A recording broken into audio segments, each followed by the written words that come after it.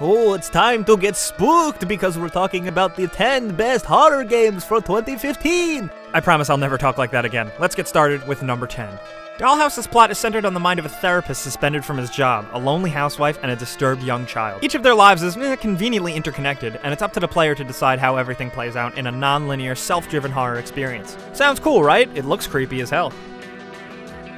Number 9. Yes, there's a new Call of Cthulhu game, haven't you heard? This one's developed by Frogwares and Focus Home Interactive, and it's the latest horror game in a long-running series developed by old school author H.P. Lovecraft. It's based on the pen and paper RPG of the same name that many of you guys know and love, but we don't really know anything else besides that. But we do know we're pretty excited.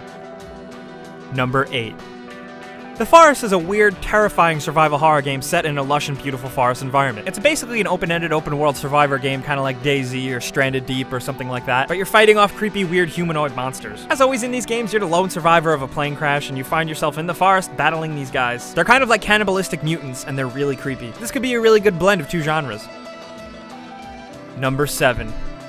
Outlast 2 is the sequel to, you guessed it, Outlast. We really don't know anything about Outlast 2 other than the fact that it exists and it's being developed once again by Red Barrel Games. Will we find ourselves in an asylum again or maybe a new setting? Eh, who knows? But judging by the Whistleblower DLC, it looks like Red Barrel Games is really looking to take their franchise into new directions. Here's hoping we find out more about it soon. Number 6. Yeah, Doom makes this list because fuck you, Doom. I don't know. Doom's more of a first person shooter, but it embraces horror tropes, and the original was pretty creepy. It remains to be seen how scary id Software will make this game, but we're counting on Doom to be absolutely awesome and visceral and gory and disgusting. Number 5. Until Dawn is a true horror experience in the vein of horror movies like Scream and Nightmare on Elm Street. Players step into the shoes of eight terrified friends trapped in a mountain retreat where a deranged killer is on the loose. Sounds pretty basic and awesome, right? As much as you hear this in horror movies all the time, we don't really see this in games, so it'll be interesting to play. Number 4. Originally released as Fatal Frame Oracle of the Sodden Raven, sorry. Fatal Frame 5 is finally slated to release somewhere other than Japan sometime this year. Like previous games in the series, players are equipped with a magical camera that allows them to exorcise ghosts. And it's really, really creepy. I don't even like looking at gameplay for this one. Number 3.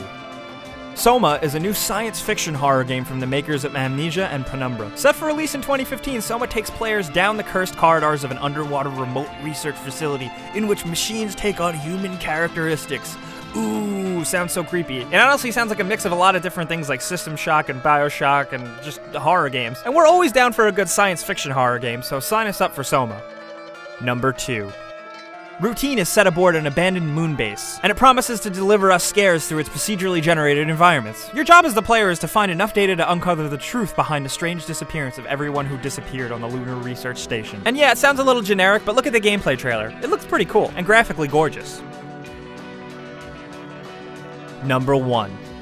Silent Hills, you knew it would make number one. Developed by Metal Gear's Hideo Kojima and Hollywood's Guillermo del Toro, Silent Hills is the latest sequel in the Silent Hill series of games. It was first promoted by that awesome PT demo on PS4 that you all played and shit your pants for. And Silent Hills definitely looks like it's gonna make us poop our pants, and it's got Norman Reedus in it, who's pretty cool. After the PT demo release, we haven't really heard too much from this game, but it definitely looks exciting. It seems like it can really shake up Silent Hill in a good way, and we can't wait.